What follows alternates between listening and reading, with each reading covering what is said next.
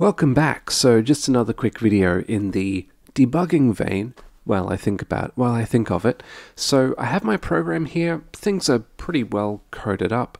I'm ready to go. I'll give this a shot and I'm just not seeing what I would expect to, although performance is pretty good. So this is tricky, right? How do we debug something that's on the GPU? Well, sort of the industry standard way of doing this is to use a tool. Um, one of the most popular is RenderDoc.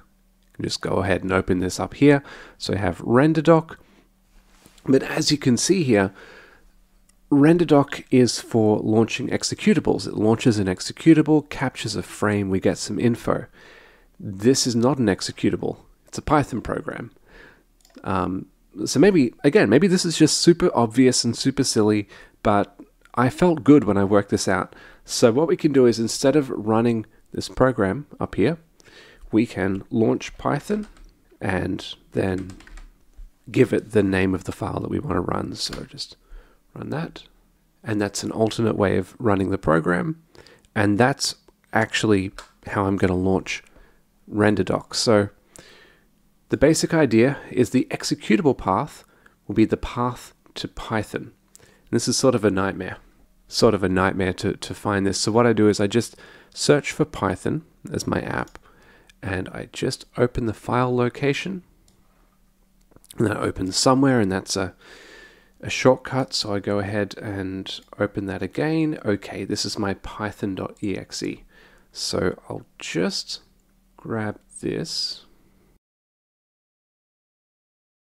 Okay, cool. I will have to change the working directory because I want to run it basically from this folder. So I'll just click in, find my root folder that I'm running everything from, select that, and then I need to specify a command line argument. So the command line argument is basically the extra argument here, so this main.py. So I'm basically saying, hey, run this Python exe, run it sort of with this folder in mind, and I want you to run main.py. Okay, so let's go ahead and launch that. And here we can see our program just the same as before, and we'll just hit F12 to capture a frame. There we have a frame there. We can close the program down now.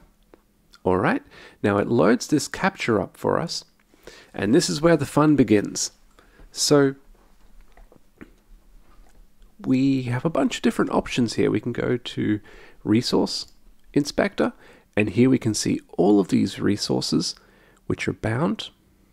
Um, so for instance, double click on a buffer and it says here, yeah, this is a shader storage buffer.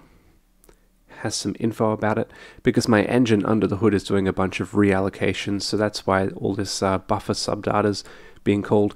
Anyway, maybe this isn't super interesting. But let's go on with the issue of working out the problem with that program. So we pop over here, we have this color pass, all this, yeah, we see we have, um, we clear the screen, we do two instanced draw calls, no problem. Now we also can see for each instance draw call, sort of what the associated resource binds are. But let's go over here to this pipeline state. And here we can see what is happening at each stage. So we can see our attributes and we can go ahead and inspect those. No problem. We can see the, the buffers. This is the vertex array. Yeah, the vertex array object, which is bound, all the attributes there. Anyway, I, am rambling on because it's fun. Okay, um, we can also see if we go to the vertex shader, everything which is associated here, the uniforms. So hey, for instance, did we have a dodgy view uh, transform or projection? So let's click go, go into that. We have view and projection, and I can see from here, I'll just take it at its word that that is a valid number.